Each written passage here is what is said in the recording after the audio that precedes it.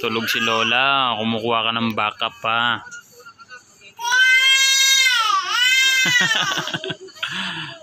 Lola, tulog si Lola.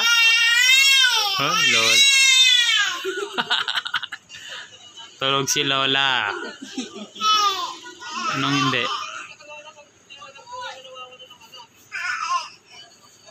Ipinost na rin namin ang kanyang panawagan sa